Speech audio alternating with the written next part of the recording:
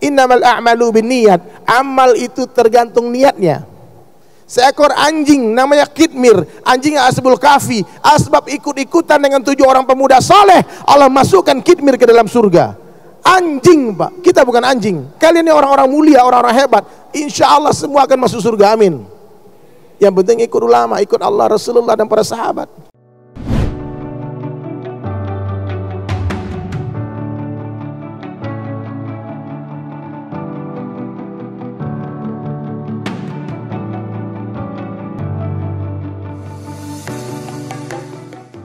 Allahu Akbar.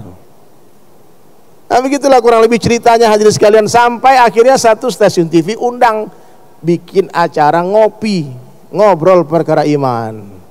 Barulah orang kenal dari Sulaiman, dibilang anak hijrah kemarin sore, bukan kemarin sore. Jadi saya luruskan ya. Kalau ada teman-teman yang mutabayun belajar agama di mana, saya ada belajar agama, tapi nggak perlu kalian tahu. Ya, belajar ada. Di madrasah ada madrasahnya. Mulai ijazahnya boleh ke rumah, ada tapi nggak perlu untuk di, dipamer. Buat apa dipamer-pamerkan juga? Ya.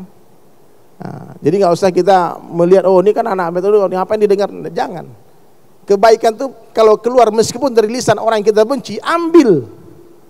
Meskipun keluar dari mulutnya harimau, ambil. Kalau itu kebaikan. Ya. Jadi difahami hadirin sekalian, bahaya nih riba ini. Saya ingatkan. Sebelum mati, sempurnakan muamalah bersihkan diri dari riba. Terus ada satu orang ngeluh, bang, nggak mungkin saya bang.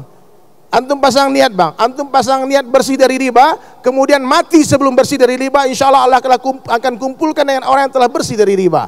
Orang yang berniat ingin jadi hafiz Al-Quran, dia baru buka itu Al-Quran satu halaman, dia mulai baca Bismillahirrahmanirrahim. Satu ayat dia hafal baru, mati.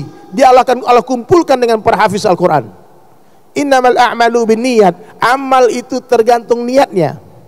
Seekor anjing namanya Kitmir, anjing Asbul Kafi. Asbab ikut-ikutan dengan tujuh orang pemuda soleh, Allah masukkan Kitmir ke dalam surga.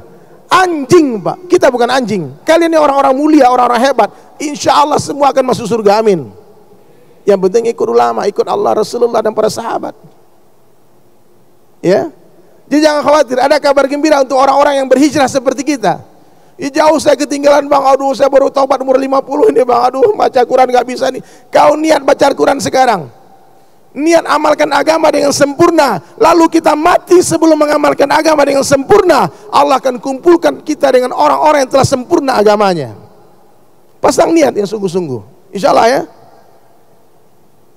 Jadi jangan buru-buru pak. Saya kadang-kadang ada teman Jos. Ikut kajian. Ini kisah nyata nih pak dia dalam keadaan riba. Kata ustadznya, tinggalkan riba sekarang, mati kalian sekarang nanti bahaya. Ini kisah nyata ya, maaf ya, kalian mesti paham ini hikmah dalam dakwah. Kemudian saya datang ustadz tadi, ustadz saya ini direktur bank ustadz. Bagaimana? Berhenti, bapak mau mati dalam keadaan riba apa gimana? Terus gimana ustadz? Putuskan ustadz. Berhenti sekarang juga. Ustadznya ini nggak hikmah. Nih. Ini kawan saya pak. Lalu dia pulang ke rumah kasih tahu istrinya, dek, riba ini bahaya berperang dengan Allah, berzina dengan ibu kandung sendiri, dosanya besar ini dek. Aku harus berhenti sekarang juga dek. Kata istrinya, bang terus kita kerja apa? Abang kerja apa? Oh tenang, aku bisa bikin kue, kita bikin kue aja. Dari direktur bank, berhenti bikin toko kue. Karena belum pengalaman bangkrutlah toko kue ini pak.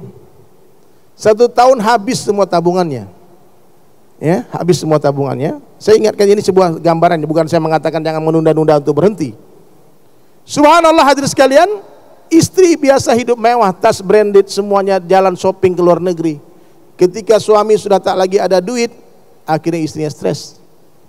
Na'udzubillah min zalik akhirnya istrinya pun pergi meninggalkan dia kawin sama orang lain.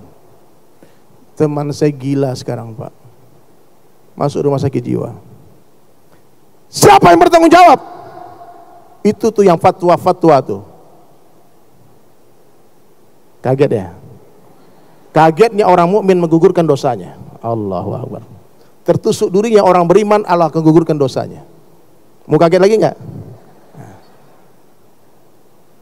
Paham nggak? Jadi antum meskipun belum bisa mengamalkan semuanya, jangan tinggalkan semuanya. Amalkan semampunya. Itu yang ketiga. Yang keempat, sempurnakan muasyarah. Tahu muasyarah enggak? Hubungan kita bermasyarakat dengan orang-orang. Hari ini banyak kakak adik kandung enggak teguran. Bertahun-tahun. Nah ini momentumnya mulai lebaran nih. Minta maaf lah. Ayah dengan anak enggak teguran ada. Ponakan dengan paman enggak bertegur sapa bertahun-tahun ada. Betul enggak?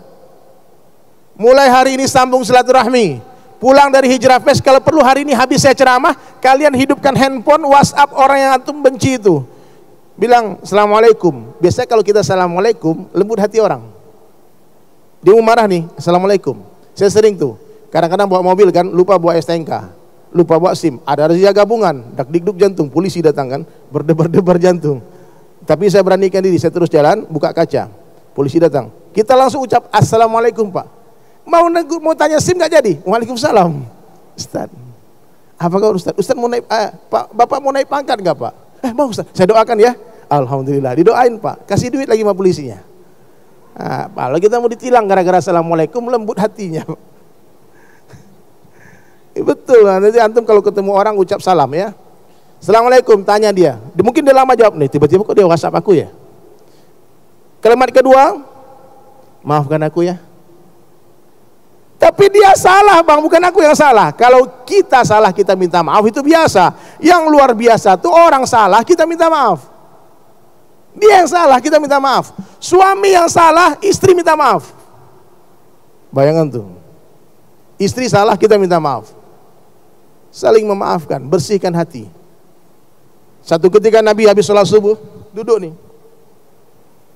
Terus masuk satu orang, satu orang masuk ke masjid, air wudhu masih menetes di jenggotnya. Dia pegang sendal dengan tangan kiri dia masukkan kaki kanannya ke masjid dia letakkan di satu tempat. Kemudian dia sholat dua rakaat tahiyatul masjid. Nabi katakan kepada sahabat kalian mau lihat ahli surga enggak? mau ya, ya itu ahli surga. Tiga kali dalam hadis ini diceritakan Rasulullah sallallahu alaihi wasallam mengatakan kepada sahabat dia ahli surga Sampai satu hari satu orang sahabat hadirin mulia penasaran apa amalan orang ini sehingga Nabi katakan dia ahli surga.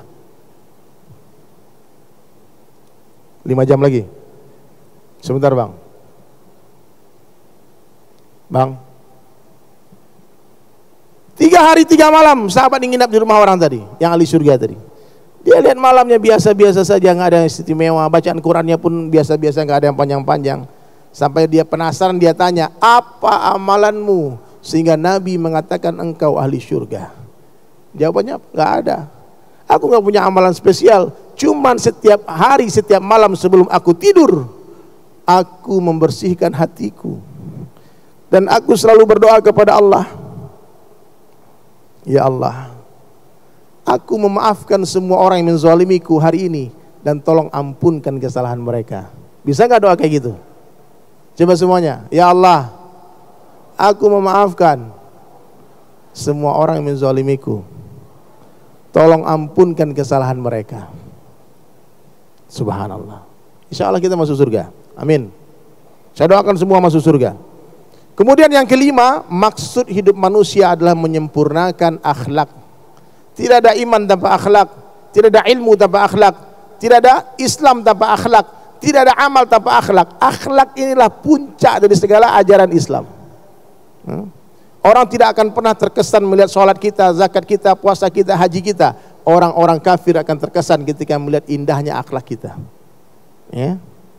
Coba saya tes lagi nih, kita sudah habis waktu ini. Lima keperluan hidup manusia. Satu, makan minum. Yang kedua, pakaian. Yang ketiga, empat, Lima. Lima maksud hidup manusia.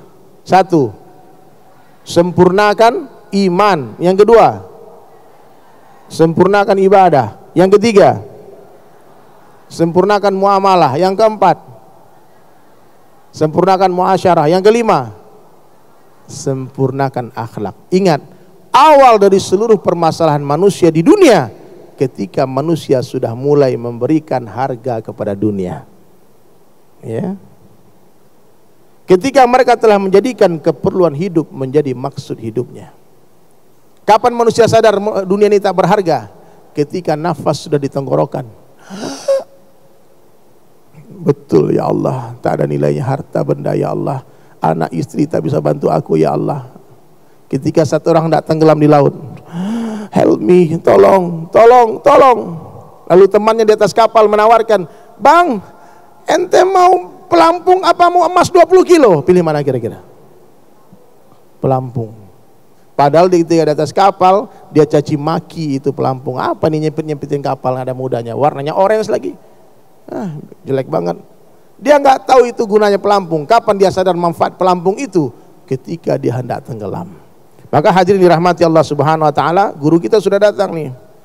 Sudah datang Ustaz Arifin ya. Eh Ustaz, astagfirullah Ustaz Arifin ya Allah. Saya Yusuf Mansur. Allahu Akbar. Saya masih ingat Ustaz Arifin sebelum berangkat ke Pinang dia bisik di kuping saya dari nanti khutbah Aid di Azikra. Biasa kan Ustaz Arifin yang khutbah.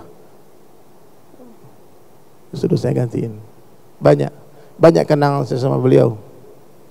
Terakhir dia pakai sorban pun dia bilang Masya Allah abang kan pakai sorban ini sampai mati. Ketika kita cerita tentang sunnah siwa dia kata abang pakai siwak nih Masya Allah.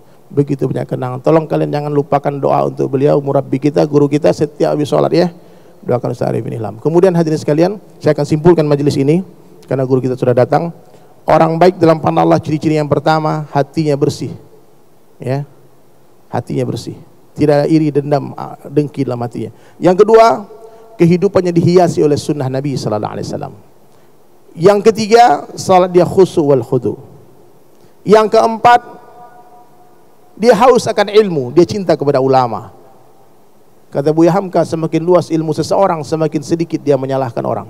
Maka perbanyaklah guru, Perbanyaklah kitab yang dibaca, perbanyaklah majelis yang dijumpai. Lihat kebaikan semua guru kita. Ulama ini lihat kebaikannya. Antum jangan gara-gara satu keburukan orang antum hapus semua keburuk kebaikan. Jangan. Memandanglah sebagaimana cara Allah memandang. Satu kebaikan orang yang kita lihat, Allah hapus semua keburukan. Insya Allah ya. Kemudian berikutnya hadirin mulia orang baik dalam pandang Allah dia tawadu. Dia selalu mengatakan kepada dirinya. Jadikan status hari ini ya, ini ya. Kalimat ini coba diikuti dengan suara yang keras. Sebaik-baik saya, lebih baik orang lain seburuk-buruk orang lain. Lebih buruk saya. Lihat orang tua katakan orang tua itu lebih baik dari saya. Kenapa? karena orang tua itu lebih duluan beramal soleh dari saya. Pasti pahala mereka lebih banyak daripada pahala saya. Kalau lihat anak muda katakan adik-adik ini lebih baik dari saya. Kenapa? saya lebih duluan bermaksiat daripada mereka. Pasti dosa saya lebih banyak daripada dosa mereka. Kemudian berikutnya orang baik dalam dia ikhlas. Dan yang terakhir orang baik dalam pandang Allah dia sadar dunia bukan tempat tinggal tapi dunia tempat meninggal. Dunia ini tempat meninggal bukanlah tempat kita tinggal.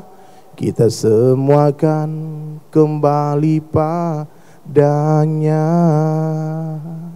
sedih sementara bahagia sementara sakit sementara sehat. Mana suaranya? Yang keras jangan fales ayo. Cantik. Tampan pun sementara dunia sementara akhirat selama-lamanya. Itu dari saya. Minta maaf tak ada yang sempurna. Sekurus-kurusnya ikan pasti ada dagingnya. Segemuk-gemuknya ikan pasti ada tulangnya. Ambil dagingnya buang tulangnya. Ambil yang baik buang yang buruk. Ambil yang jernih buang yang keruh. Wabillahi taufiq wal hidayah. Wassalamualaikum warahmatullahi wabarakatuh